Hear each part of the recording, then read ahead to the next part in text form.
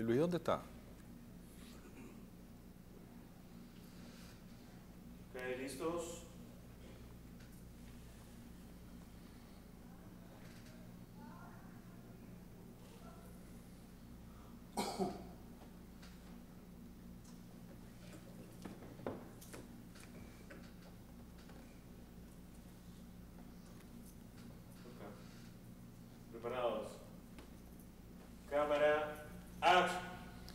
Seguimos en Gerencia para Todos hoy conversando con el comunicador Enzo Espósito sobre el tema de entretenimiento, imagen personal y en este sentido quisiera que nos ayudaras a todos a mejorar el tema de la gerencia de la imagen. ¿Por qué es importante para las empresas, para los emprendedores, la imagen personal? Bueno, sencillamente es tu carta de presentación.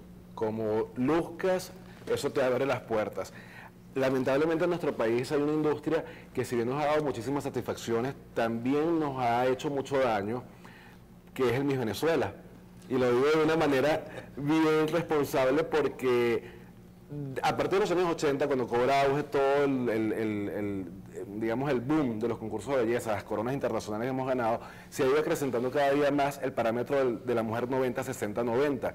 Y eso ha influido de manera positiva o negativa, de acuerdo como lo quieras ver, eh, en que todas las niñas hoy en día crecen con ganas de ser reina de belleza, porque eso inmediatamente es un pasaporte para trabajar en los medios de comunicación. Y hay dos cosas muy diferentes. Una cosa es ser famoso y otra cosa es prepararse para ser comunicador. Entonces, eh, es una puerta que se te abre muy fácil. Hoy en día también, gracias a la televisión, que es una gran responsable en parte de esto, a las agencias de publicidad, han creado también ese, ese prototipo, ese canon de la belleza perfecta, tanto para la mujer como para el hombre. Yo creo que hoy en día no hay distinción en cuanto a, a género, porque el hombre se exige también a sí mismo tanto o más que la mujer. De hecho, vemos cómo se ha acrecentado también el, el- el universo de la estética masculina, de los gimnasios, de, del, del sentirse bien y verse bien para poder lograr un objetivo. Eso también lo ves muy fácil cuando tú de repente vas a una entrevista de trabajo y tú tienes a una persona muy bien preparada, con un currículum maravilloso, pero que de pronto no luce tan bien como la otra que tiene sentada al lado. ¿Y quién queda generalmente? El que tiene mejor imagen.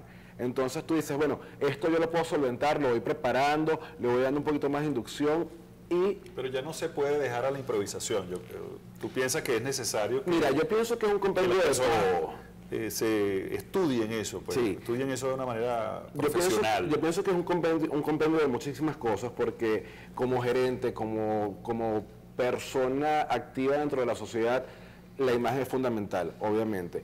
Y el hecho de que tú seas ingeniero, que seas arquitecto, político inclusive, cualquier especialidad a la que te dediques dentro de, la sociedad, tienes que prepararte también de alguna manera con cursos de oratoria, con expresión corporal, con muchísimas otras herramientas que te van a dar base para que tú puedas ser mejor ejecutivo, mejor comunicador.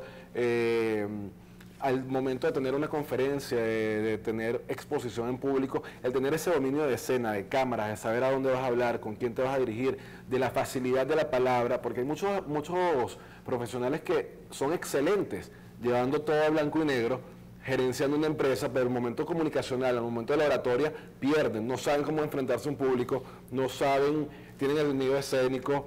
Eh, me ha tocado muchísimo con, médicos, con profesionales de, de muchísimas áreas que son una eminencia, pero al momento de enfrentarse al público tienen esa debilidad.